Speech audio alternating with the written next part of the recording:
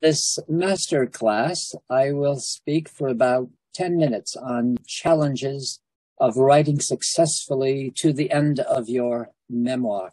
Uh, writing the beginning of a memoir for a lot of people is a is an easier task than writing the end of their memoir to wrap it all up so that the memoir is coherent and and impactful. Um, after I have done this brief presentation, there's so much to do that I've just selected a few points. Uh, I will take your questions in the order that they appear in the chat room. So as we are going on and you have a question, please uh, write it in the in the chat room. Um, the challenge uh, to finishing a memoir, to ending a memoir. So I'm, I'm, talking about writing the text to the end more than just the actual act of finishing. Um, probably you simply don't know how to bring your story to a satisfying conclusion. Now, this is a technical problem, and it is one uh, that uh, a first time writer uh, just doesn't know how to do it. So if you're a first time writer, and most of the people that I work with are first time writers, so why should you know? I'm going to give you some ideas. Number two, well, you've gotten tired of writing and you can't master the energy to continue to the end of your story. This discouragement in some way is also a technical problem. It's not about you. It's about you not knowing the technical process uh, as an only time writer, you just simply haven't mastered writing. So these two issues are, are, are to some extent functions of the fact that you're a novice at memoir writing. Um, th- these two issues are really remediable uh, ones. Um, the third common reason that people have a difficulty uh, in their um, ending the writing of their story is that they have lost the vision uh, that they once had and they can no longer sense what it was that they wanted to convey, why it was so important for them to write a memoir at that point. And I put a, a quote here, where there is no vision, the people perish. That comes from Proverbs, uh, a biblical book. Um, and when there is no vision in your writing, the memoir uh, perishes. The memoir does not have a future.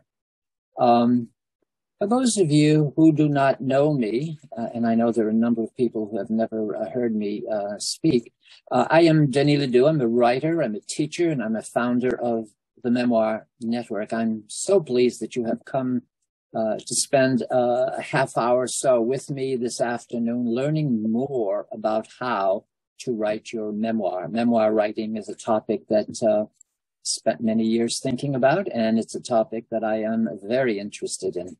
This master is brought to you by the Memoir Network's coaching services. Uh, coaching can take you quickly to where you want your memoir to go.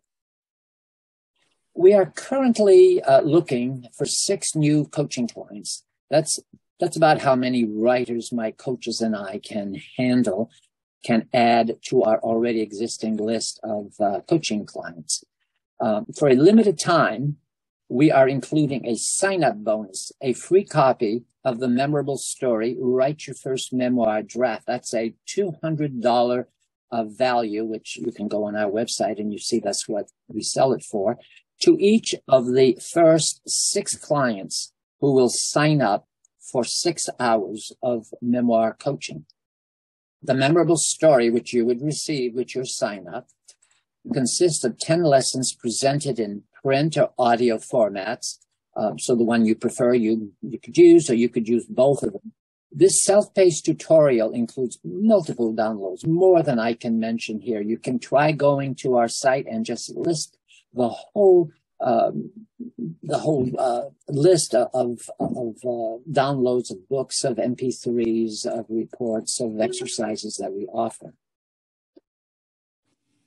Now, I want to say that each video in this Better Memoir Masterclass series focuses on an aspect of memoir writing, whether that aspect is technique, motivation, publication, or any number of other topics. In this particular video, I'm going to talk about write to the end, and I'm going to draw inspiration from my book, which is write to the end, eight strategies to thrive. That's available on our web store, or it's available on, uh, on Amazon or uh, Draft Digital or any other, uh, medium.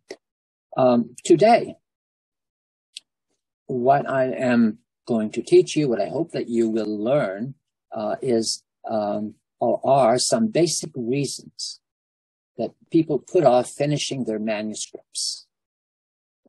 And I'll also offer some suggestions about how to finish your manuscript, how to write to the end of your story, so that you can finally hold your book in hand, so that you will have this book that you say, this is what I worked on the last year, two or three. Holding your book, the results of your hard work is a, just a really satisfying experience. I've had a number and I've enjoyed having them. Um, I've enjoyed having them uh, to, to, hold and to, to put up on my shelf and to know that uh, the work that I have done has come to fruition. Uh, I, I, I, thought that I would throw in a, uh, a photo of some of my workshoppers. They're listening to a woman reading from her stories, the woman with dark hair, has her stories in a three ring binder. And um, she is reading the story out loud to a group. I recommend that you keep your stories in a three ring binder. For those of you who might be just a little bit discouraged, printing out your stories, putting them in a binder is a way for you to see how much you've already done and uh, to, to, feel just the, the task uh, adding up to a success. Okay. Why do writers put off finishing their memoirs? Um, one reason is some people enjoy the process of writing and researching and are just reluctant to give it up. This may be especially true of retired people who are finding writing to be a meaningful activity in, in their days. They're retired, they have nothing to do, so they write and research and are not looking forward to ending this. Now, finishing a project for them would mean losing something that's pleasurable and meaningful. The solution to this is so easy. Write another memoir. What's, what's holding them? Finish this one, start another one. Uh, writers may be diffident about whether they have written a text that is good enough. They are perfectionists who are constantly rewriting. So here, I'm not so much going for the content as I'm going for format. Is this the right word? Is the phrasing very good here? Do I have a nice images? It's all about the form rather than the content. This other one, number three, people may be afraid of being judged for their effort, which they feel will be found insufficient. This is all about the content. They, they feel that people will say, this is what they spent two years working. I mean, they got kidding. This book is, is, is what they were focused on. Well, that's not a very good, I can certainly understand, uh, that you would not feel very comfortable, uh, about, uh, uh turning this, uh, finishing this book and putting it out into the world.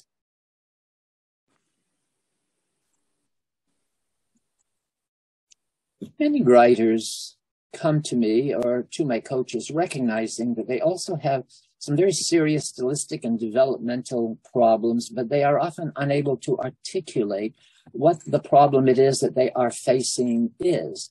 Um, they're going to say something to to me or to their coach, something like, "My story is not interesting," or "This memoir just rambles on and on." My writing style seems chaotic uh, one thing people sometimes will say to me, "Oh, my kids, they have their BAs and their MAs and their all kinds of A's, and I- am just afraid that I'm not smart enough to write a book that they're going to be proud of." Um, well, I just want to say that that's not the case. I have never, never heard of a of a kid, a child, progeny, not being proud of their parents' right. So that one I would put to rest right away like many people who come to me, uh, many writers are first time and perhaps only time writers, and it is not unreasonable for these people who have really no experience as writers that they should be unsure of the process of writing and of the results. What these writers may need in is some coaching to get their story in, in shape, just to kind of put it together in a way that really is impactful. Many writers will tell me, well, I want to look good, or at least I don't want to look bad. So I don't blame them. Nobody does. Why is it that people do not know how to write long form? Long form is, after all, what a memoir is. Memoir is long form, not short form. I'm going to talk about that uh, more at length, and in a few minutes, you're going to have a real clear understanding of the two.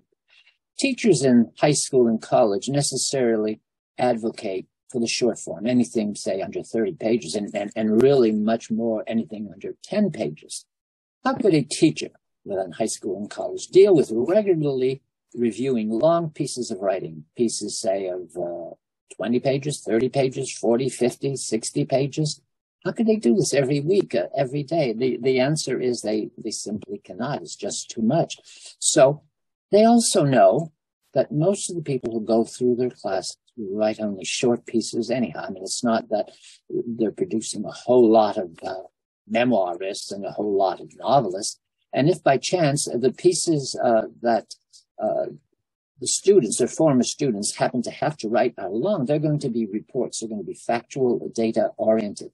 These uh, longer pieces, not long form, just longer pieces. These are essentially longer versions of short form, as these people will string together short form pieces and call each uh, each uh, piece chapter one, chapter two, chapter three, or module one, module two, module three. So this is really just short form pieces strung together.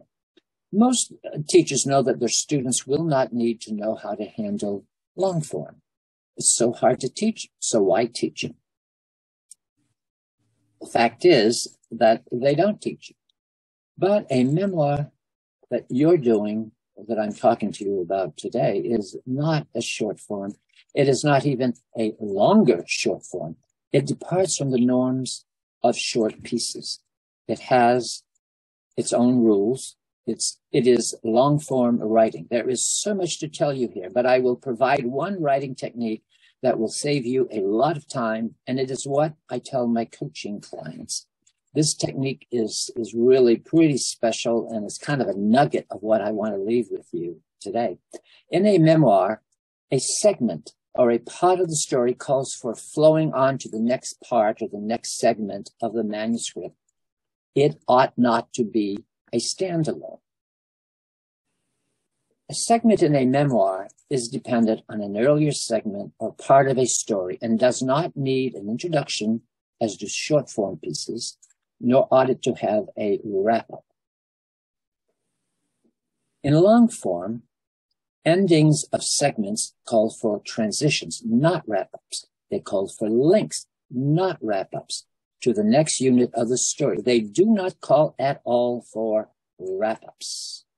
I oftentimes call memoirs an anthology of vignettes. And that's what you've got to keep in mind that you are writing an anthology of vignettes and that you will link them together at some point. Long form pieces also call for occasional foreshadowing and elements of suspense to keep the plot going. They do not call for a wrap up for an interpretation, except possibly in the last chapter. Um, to get to this point, sometimes it takes quite a few coaching sessions for a client writers to learn to leave their story segments open ended so that when they tie into a new segment or a new chapter, they can do so easily and elegantly when this happens, the writer is capable of producing more pieces and more stories more quickly. There is much less rewriting time. The writer is finally on to long form. Other challenges of long form include sustaining character, point of view, tone, theme, action. But these topics are for another time, another video. We're running out of time here. Let's just take a minute, however, before moving on to talk about how a memoir coach provides you with impartial feedback about your memoir's potential, be it your treatment of subject matter, your, your style, character development, pacing, the arc of the story, plotting, and so much more. why don't, why not schedule a complimentary get acquainted session by going to www.thememoirnetwork.com. Remember that the first six clients who sign up for six hours get a $200 program for free. This is a, a pretty good deal, if I do say so myself. Uh, in conclusion, I want to leave you with this. Certainly, ending a memoir well is a skill that you need to develop as a memoirist. As writers learn to write better and earlier and earlier in the process, they produce more in less time. Writing to the end becomes that much easier. The practice of leaving your stories open-ended so that the stories can attach or hook to another uh, story segment, another vignette, another chapter will save you time in the second draft of your manuscript. I've worked with, with clients so many times and they've turned in little articles, they've turned blog posts, and I have had to, uh, to say to them, take the introductions out, the wrap ups out, and let's put these together and work at transitions. That's what I hope that you will remember from what we have been saying. Um, let's see learning to write long form very early on helps you, it trains you to think of the story in longer terms than a standalone or a short form story. Now I will entertain your questions uh, in the time that is left to us. We have about 12 minutes. Uh, if you have not left a question in the chat room, you may do so now. So I'll talk to you about Denise Brown uh, Denise Brown uh, started writing this memoir uh, when she was in uh, in college, uh, in first second year of college. a woman who suffered tremendous abuse. Her parents would both be in jail today if if they did this today. Um, and she finished her book when she was almost fifty. She wrote her book many different times, and she was a very I would say, a heroic writer who had this vision of what she was going to do with her story, and uh, just just kept pursuing it. Just kept pursuing it. It was a, a wonderful uh, experience. Um, if you are writing your story, I'm, I'm, just going to answer some of your questions, which you haven't sent in, but this could have been one of them. Um, I talked about what happens if you lose your vision. Sometimes will happen. Somebody will, will start a story and uh, will, uh, you know, will say, uh, I, I had this real vision. I had this real impetus. There's something that I really wanted to do, and and it it just doesn't seem quite so important. I'm just not sure um, about it anymore. Uh, what can I do? Um, I think if this were I in my in my in my memoir, I would put my stories in order.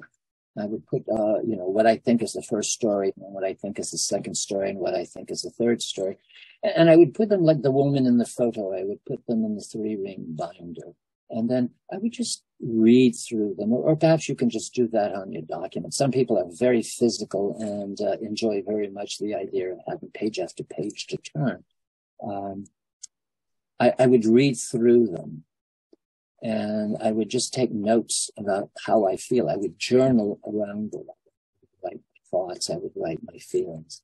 Uh, another thing that I would do is I would do the memory list. If you're listening to me today and you don't know what a memory list is, go to www.thememoirnetwork.com and we have a number of blog posts on memory lists. Uh, we also have an entire book, uh, an entire ebook on memory list. If there is anything that is a, a magic bullet, it is the memory list.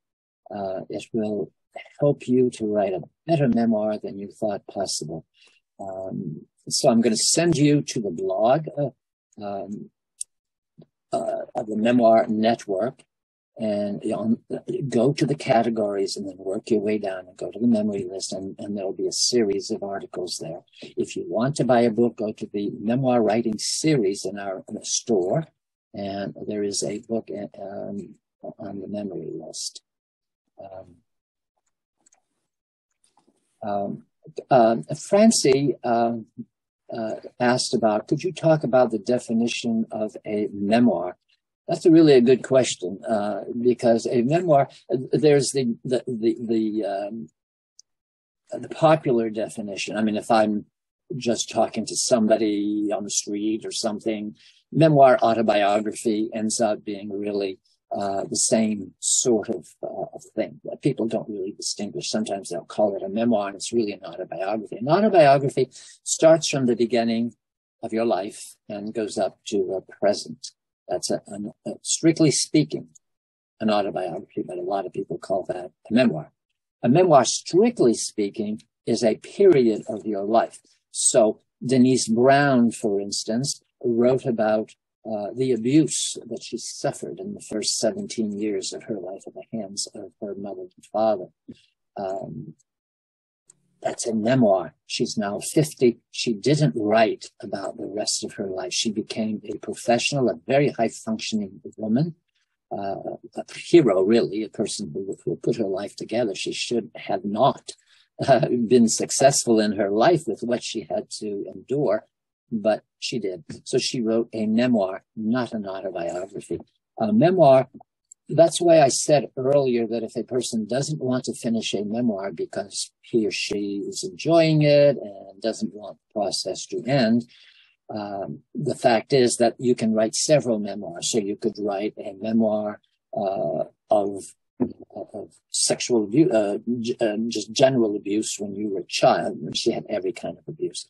Then the next thing you might write about, she's a professional woman. You might write about her professional uh, development. And then she might have decided uh, to write about overcoming, you know, the psychological, the emotional work that she had to do to forgive the past and to move on to a future. So uh, she could have had three memoirs right there. So a memoir is really about something unique, particular, special. It has somewhat of a beginning, somewhat of an ending.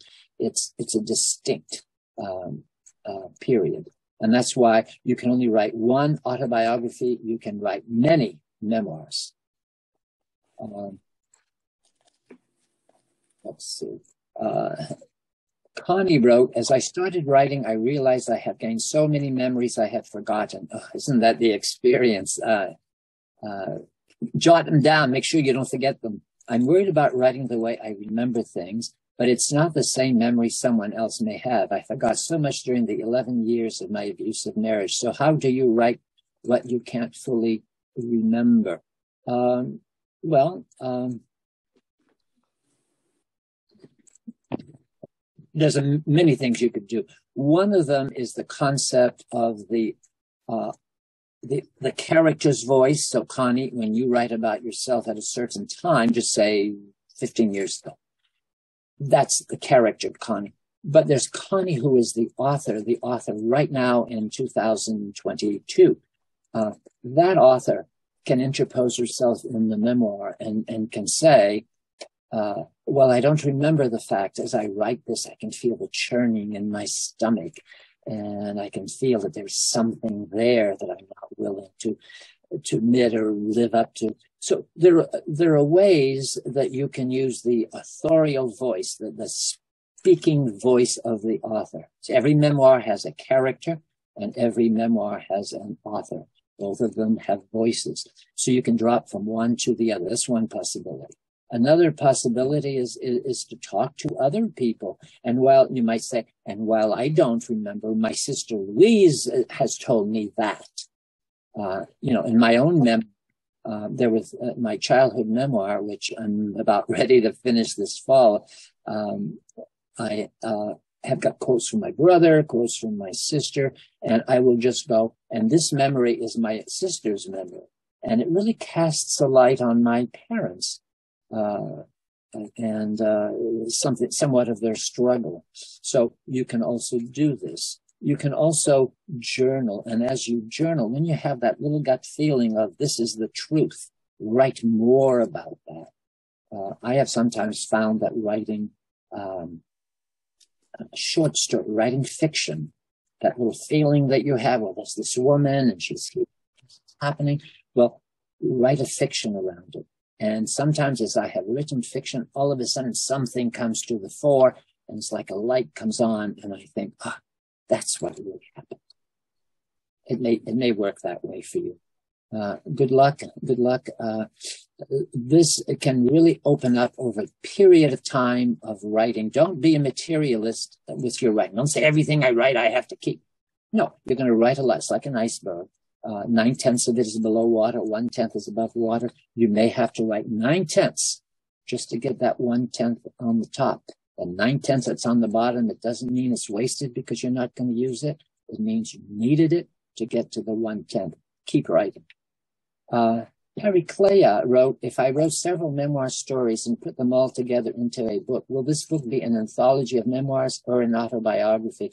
Well, strictly speaking, it's autobiography if it goes to the beginning of your life and goes up to the uh, to the present.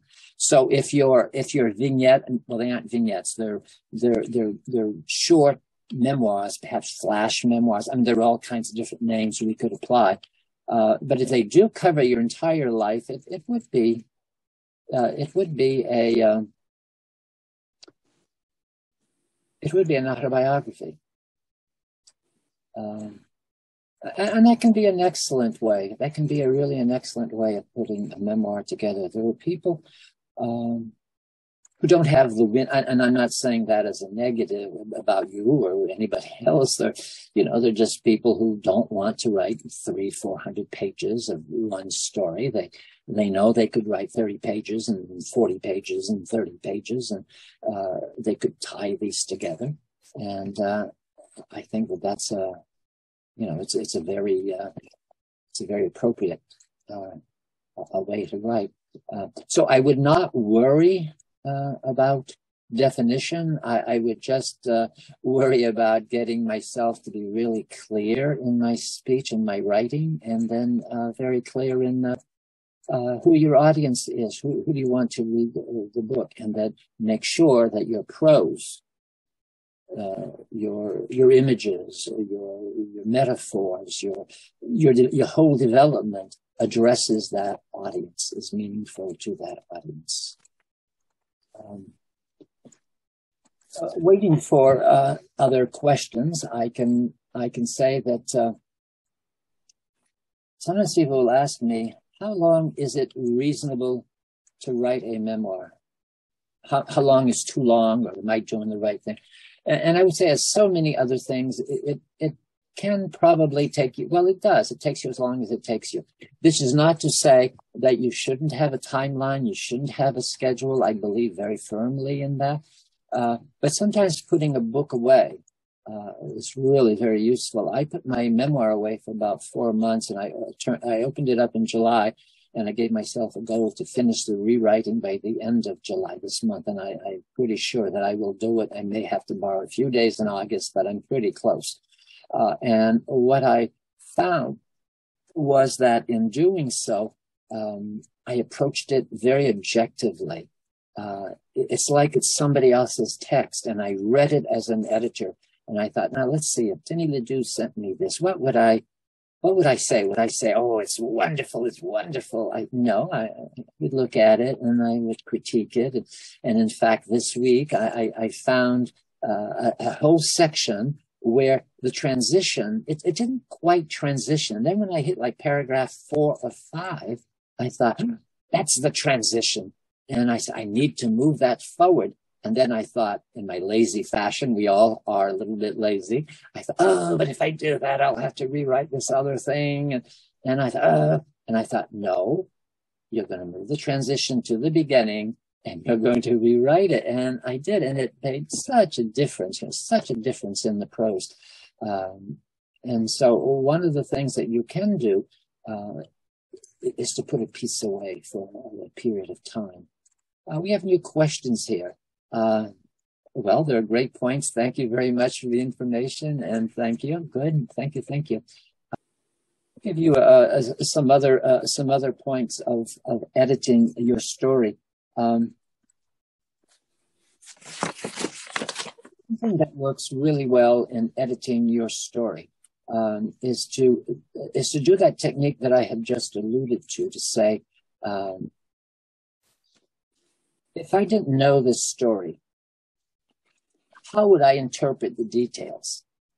Uh, for instance, uh, if I said something like, uh, uh oh, I don't know, uh, I burnt this traditional ethnic pie that my mother-in-law wanted me to make. And I don't mention anything about the process of cooking that pie, why I, who was a good cook, should have burnt it, then the story is meaningless. I have to put the details in that explains why I would have had this problem. So I would say to all of you, uh, you know, just go line by line as you're coming towards the end of your story and to say, would this be meaningful to somebody who's not of my generation, who's not in my cohort, who's not in my ethnic group, who's not this or that that I am? And, and that's a really a pretty important, uh, it's an important question to answer. Um, we are getting towards uh, the end, and uh, I am. Uh, I can take one more question if somebody has a, a chat. Um, I will say that uh, if you wish to schedule a complimentary introductory session, that's just uh, a get to know you. We spend a half hour, an hour just talking about your project, your hopes, your aspirations, your difficulties, specifically what kind of help you think you could use, what your timetable is, what your budget is, um, just be in touch with us. Where I, I, will take the phone call. I hope I'm not an intimidating person, and I will. I would either work with you or we have uh, a number of, of coaches.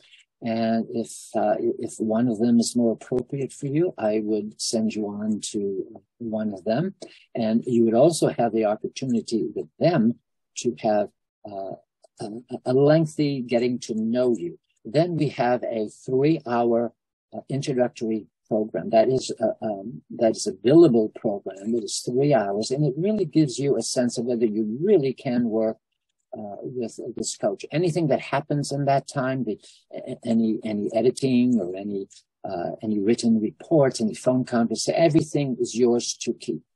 Uh, we are never uh, in working with you. Um, the manuscript is always yours. We're, we're like midwives and we help you to bring your story to its best uh, point. Um, if you are interested, remember that there is a, a bonus for the first six signups. So you sign up for six hours. So you would do the three hour introductory at two, 285. And then once you sign up for an additional three hours, that, that would complete your six hours you would receive a free enrollment in the memorable story write your first memoir draft so this is a $200 value. So in essence you would get the next uh, three hour uh, next three hours for $85 I, don't see how you could go wrong with that. Uh, you can also email me at denis d-e-n-i-s at the memoirnetwork.com uh, um, and with that i am uh, going to I am going to wish you all uh, very, um, very joyous writing. Uh, writing, what you're doing is so special. It, it's it's something that people dream of doing in their life, and so few people do it. But you are doing it. You're you congratulate yourself. You know, you're you're all heroes. I, I think when you write a memoir, you're writing a hero's life. You're writing about something that you think was special. So that's a hero's journey that you're writing about. But there's this other thing about being a hero. Writing a memoir itself is to say that I will confront, I will confront my life and I will create meaning out of it. Um, uh, Carl Maria, Rainer Maria Rilke, um, he was an Austrian poet and he talked about poetry being a momentary order. And when you are a memoir writer, you are creating a momentary order out of your life. And then one day you will hand this to your children, your grandchildren, and perhaps even the world. Uh, many of my writers have sold uh, not huge amounts, but a thousand, two thousand, twenty-five hundred books. And the books have gone out oftentimes regional, but oftentimes they're a topic like uh, one woman whose uh, whose daughter died of drug overdose um, sold uh, well to a of, uh, of people who had children who were drug addicted. Uh, so with this, I am going to uh, to wish you all a uh, a very very uh, happy writing experience, and uh, I hope that uh, the six of you will take me up on my offer. And the offer is good as long as we haven't had six signups. So talk to you later, and good luck to you, and thank you so much for sharing this time. I hope that I have been an inspiration for you.